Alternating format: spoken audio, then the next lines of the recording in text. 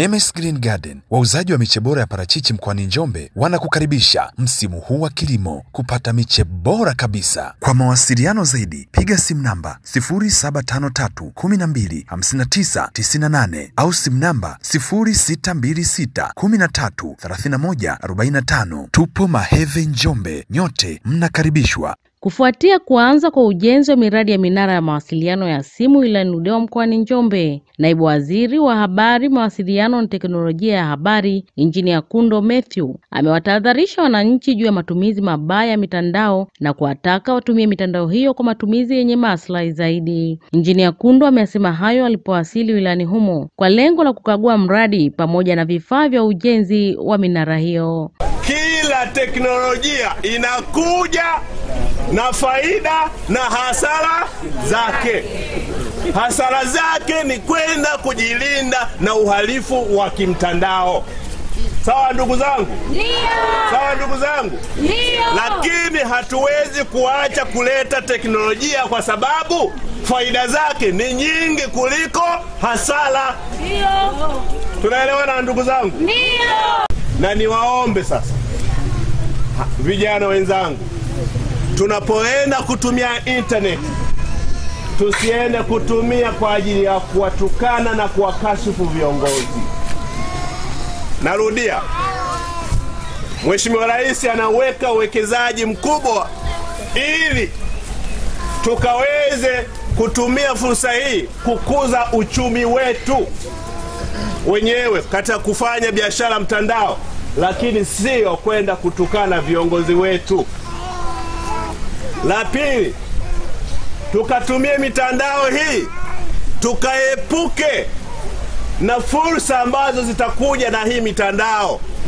Kuna wengine wataangalia sasa kwenye Instagram, wataona wana mabinti, kuna mabinti wazuri e, binti moja akajitokeza kwenye Instagram anawaambia ah, nitumie, nitumie shilingi elfu hamsini alafu wewe hujawahi hata kuonana naye, unamwona tu kwenye Instagram, alafu matoke yako unatuma elfu hamsini alafu unaenda kumwambia mbunge, nimeibiwa.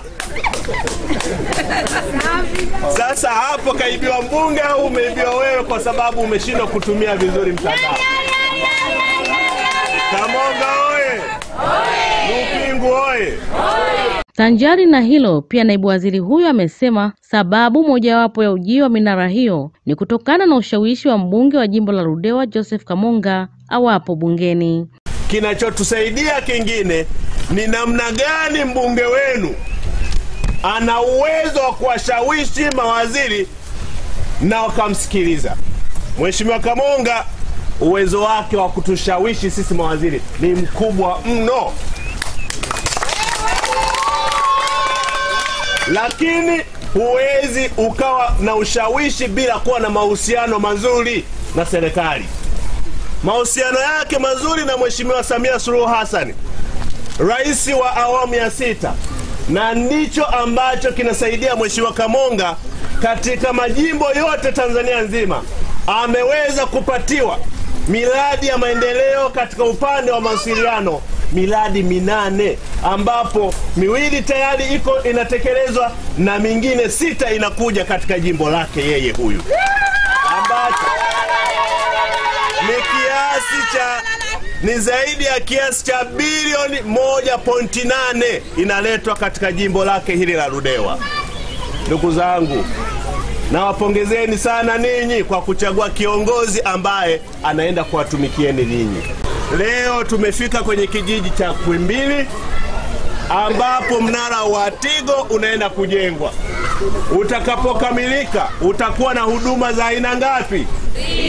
Aina ngapi? Aina ya kwanza ni kupiga simu na kupokea na kutuma message. Aina ya pili ni kutumia matumizi ya intaneti ambapo sasa utaweza kuwa, kuangalia taarifa ya habari, sio lazima iwe TV, lakini pia utaweza kuhabarishwa kupitia mambo mbalimbali. Aidha, kwa upande wake mbunge Kamonga ameshukuru serikali kwa hatua hiyo iliyofikiwa.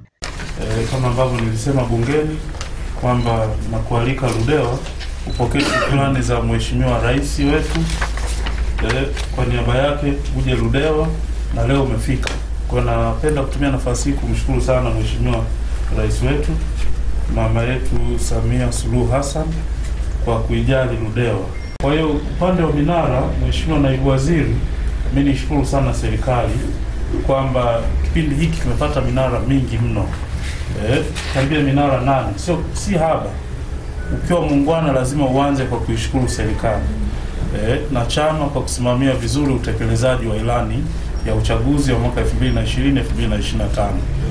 Eh, pamoja na hayo, Mheshimiwa eh, Naibu Waziri, nilikualika ili niombe utusaidie kuweza kutatua changamoto chache ambazo tunazo eh, kule Ibumi ule mnara wa wa, air, wa, wa TTCL unahudumia vitongoji vinne kati ya vitongoji vitano e, na vitongoji hivyo vitongoji hivyo viko kwenye kijiji kimoja cha Ibumi.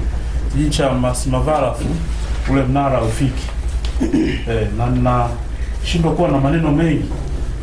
Kwa sababu Mheshimiwa Naibu Waziri, approach ulioitumia ya kutanguliza wataalamu wazunguke kote. E, wamepita kote, masimavarafu wamekwenda wamekwenda huku ziwani Lifuma na kila eneo wamefika. Na injinia wa mradi huo kwa kata ya Lupingu Suleimani Sengo amesema mpaka kufikia mwishoni mwa mwezi Disemba mwaka huu mawasiliano yataanza kupatikana huku wananchi wakionyesha furaha yao juu ya mradi huo. Tunashukuru, ushirikiano ni mkubwa kuanzia uongozi wa kijiji mpaka serikali kuu. Kwa hiyo tunatarajia baada ya mwezi mmoja tutakuwa tumeshafika kwenye pointi yetu ya kujenga ule mnara na tunatarajia kupata kuanza ku- ku- ku- kufitisha pale juu na kukamilisha kila kitu kwenye Disemba 20. Hapo mtakuwa mnapata mawasiliano vizuri kama alivyoeleza mheshimiwa mbunge.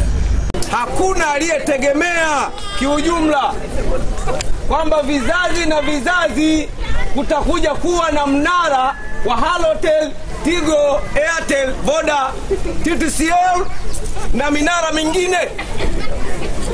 Kwa hiyo kwangu mimi ni kama ndoto. Naombeni wote tumpigie makofi naibu waziri. Lakini hilo jambo pia limetimizwa na kauli au neno linalonenwa na mheshimiwa mbunge wetu Joseph Kamonga ambalo kila siku huwa analifanya akiwa bungeni. Tumehangaika sana, unatakiwa utoe taarifa wizarani, inakuwa ni shida.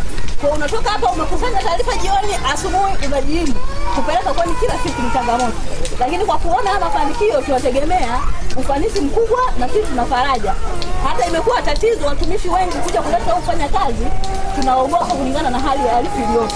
Mawasiliano yamekuwa ni kelo kiasi kwamba watumishi wote wanagoma kuja mazingira haya, lakini kwa kufunguka kwa haya mawasiliano, tunategemea hata sahizi watumishi wote tutaona sehemu zote ni sawa. You are watching Digital News Tanzania.